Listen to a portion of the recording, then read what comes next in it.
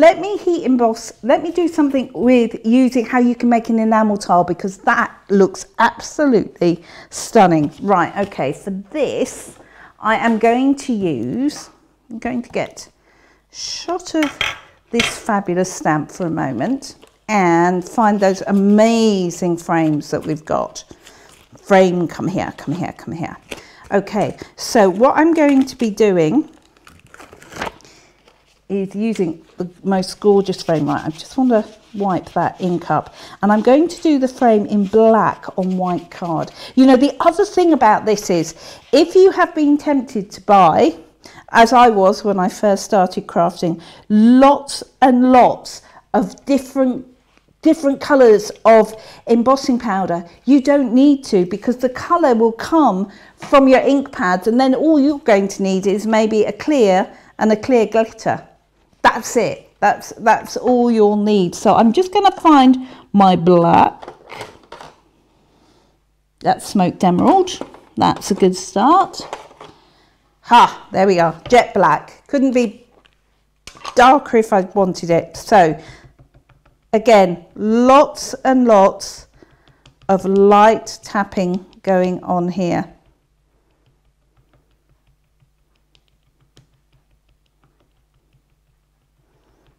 There we are. And then we're going to stamp that down in the centre. There we go. But again, look at the fineness. Now, look, there's the stamp. There's the stamp. If you've ever used pigment inks before, that, this is not the result you expect to see. It really is not the result you expect to see. This is wow. This is incredible detail for a pigment ink. It really is. I, I can't tell you how stunning it is. Um, and if you've used them before, you will know. You will absolutely know. So what I'm going to do is I'm just going to heat emboss this and then I'm going to cut out that square. So, right, what we're going to do is heat emboss this to pick up all that detail. You, by the way, you don't need to heat emboss clear pigment ink on Neenah Solar White. It will dry. It will take slightly longer to dry than um, your water reactive or your quick dry inks, obviously, but it will dry. You don't have to heat emboss it. Equally on glossy card, if you're using it on a glossy card, um, it will dry. It will take ages if you leave it to dry naturally, but it will, you can force dry it with a heat gun. Um, to speed up the process and still get the glossy card coming through. Right, let me just tip that away. There we go and we'll pop this in and I'm just going to heat emboss this little frame okay and then we'll cut it out and then we'll make a tile in the center part. Try and keep your fingers out the way. Here we go. Ah. I just want you to see this because it makes me happy. It makes me really happy watching that change. Maybe I'm just strange but it really does. And you wait to see how happy I get when we create this enamel tile. I will be beyond happy.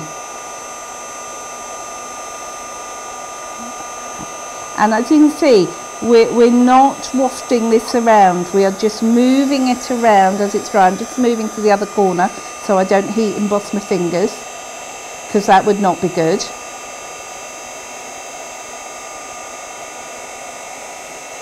Okay. There we go. It seems almost sacrilegious. Look at that. It seems almost sacrilegious to lose that front bit, but actually it's a centre square that I want. So that's exactly what we're going to do.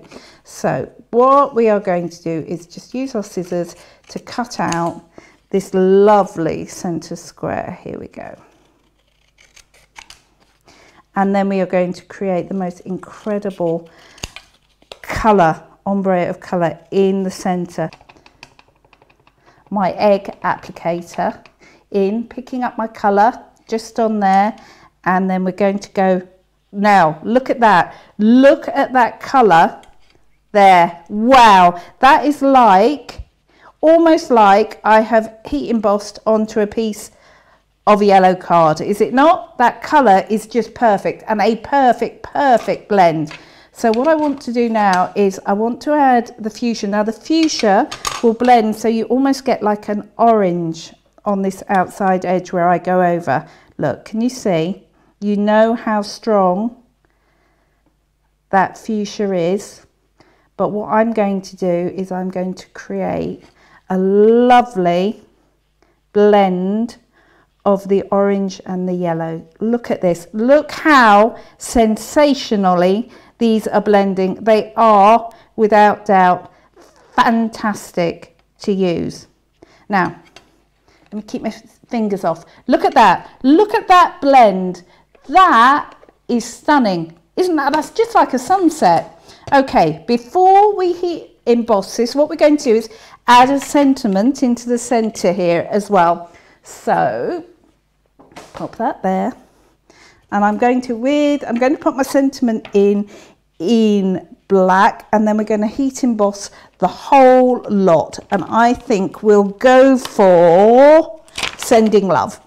And this can be added to the pile of bits and pieces that we're sending out, sending love and sending it out. So grab my stamp and these are lovely clear acrylic stamps and I know you like those you like being able to see what you're doing using them on the platform just means that if I want to I can line this up so again a nice lot of ink going on there I know I've got the right ink pad because I, I can see it's brown in my hands we'll just pop those over there for a second and I think I want it up the other way now there's picky there's picky. I want the darker bit at the bottom there. So then we're just going to stamp this down. There we go. Look, again, beautiful, absolutely crisp, clear loveliness. It really is. So on top of that blend, what we're going to do now is tip a load of clear embossing powder. There we go. Well, bathed it in it, I have bathed it in it.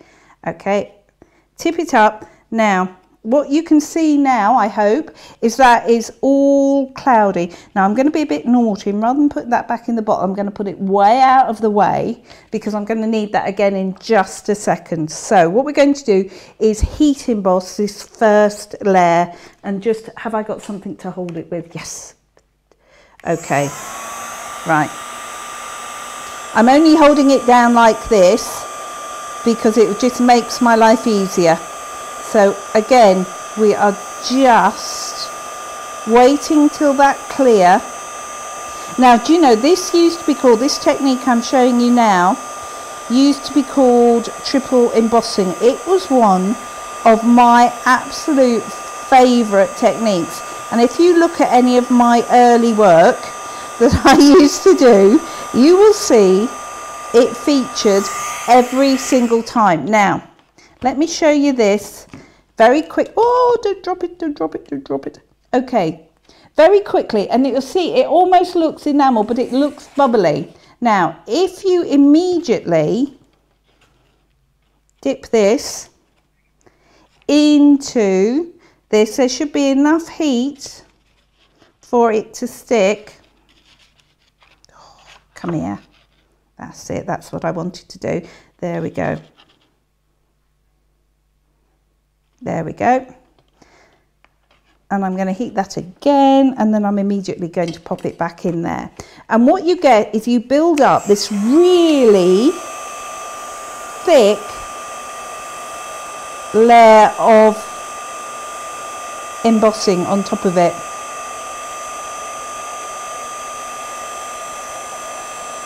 And what we'll do is just heating that, just heating that, just heating that. And you'll see what happens is that layer,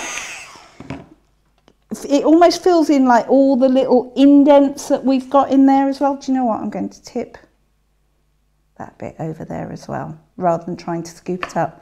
Wow, that's a lot of embossing powder. Before I heat this bit, I am going to put that back in the bottle. There we go. Okay, so I'm just going to pop that down and carefully pop this away. Ooh, carefully, she says, getting it everywhere. It's close. That's the other. That's the other definition of carefully, which is called get it all over your glass mat. Before I heat emboss that, because I don't want to heat emboss my glass mat, I'm just going to do that.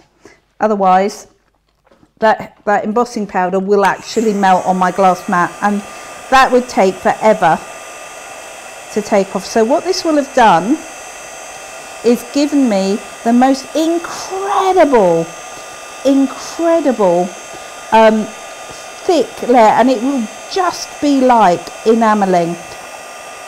And I'll tell you another trick you can do with these when you've got this like this.